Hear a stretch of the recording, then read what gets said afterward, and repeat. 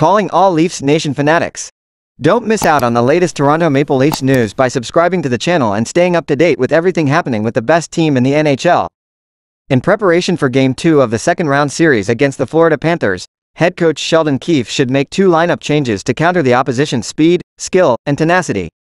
Get ready for an incredible journey of self-discovery and empowerment. You're about to receive a gift that will help you achieve anything you set your mind to. This is your chance to live your best life. Don't let it pass you by.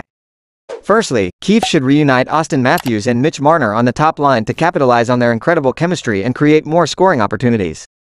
This move would allow William Nylander to move down to the second line with John Tavares, which could create more offensive firepower.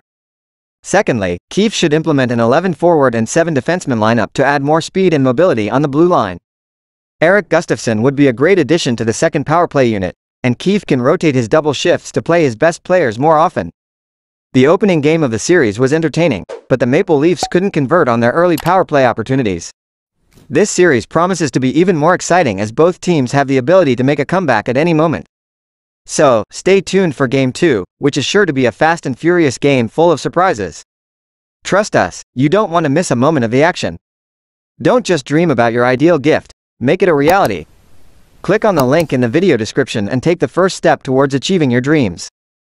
Don't let fear or hesitation hold you back from the life you deserve.